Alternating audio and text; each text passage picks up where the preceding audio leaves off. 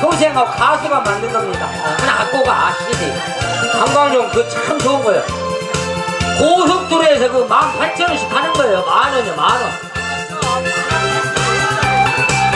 응, 알았어. 백대세 비켜줘, 비켜. 하면 안 보이니까.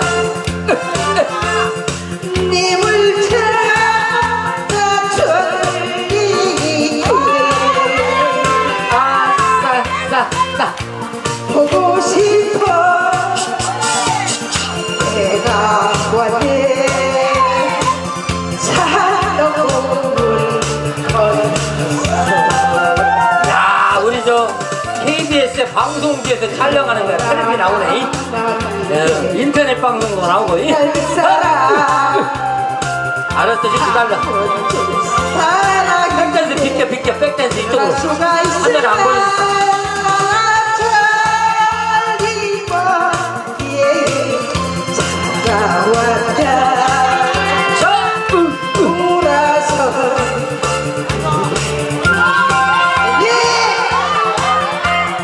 자, 이 무대는 여러분들 같이 함께하는 각설이 공연도 하지만요.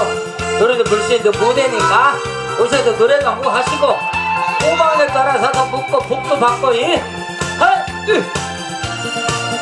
원래 로또 복권 당첨됐잖아. 여 호박엿 먹고 아홉 명 소문 났지?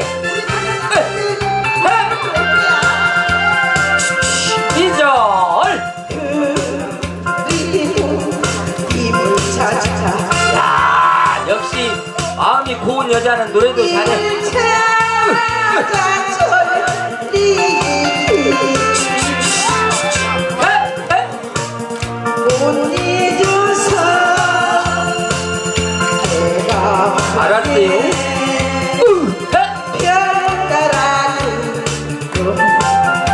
자 다음 노래는 모르고